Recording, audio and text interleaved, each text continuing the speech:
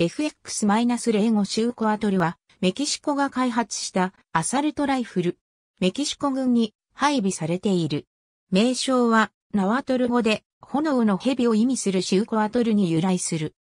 基本となる、アサルトライフル型のほか、小型、軽量化したカービン型、精密射撃を可能にした線場ついて小銃型、長時間の射撃に対応した軽機関銃型が開発された。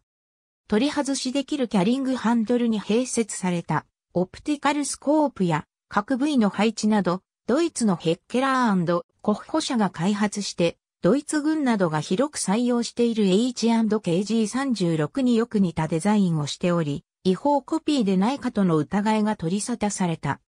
しかし、ポリゴナルバレルを採用し、バーストが G36 のような2点ではなく、一般的な3点であるなどの異なった点も多く、20mm のピカティニーレールに置かれた取り外し可能なキャリングハンドルは明らかに M4A1 の影響を受けている。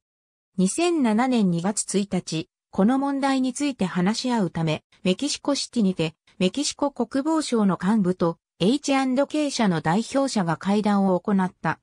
セデナ側は FX-05 が G36 の違法なコピーかもしれないと考えていたが、H&K 側はあくまで異なる重機であるという見解を示した。最終的にセデナと H&K の間で基礎や賠償が発生することはなかった。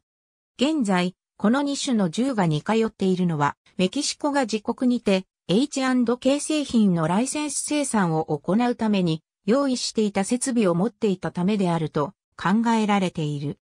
なお、現在配備されている FX-05 は、スコープ付きのキャリングハンドルを外して、マウントレールに光学サイト、または固定式サイトを装着するように変更されたモデルで G36 と異なったシルエットになっている。ウィキメディアコモンズには FX-05 に関するメディアがあります。ありがとうございます。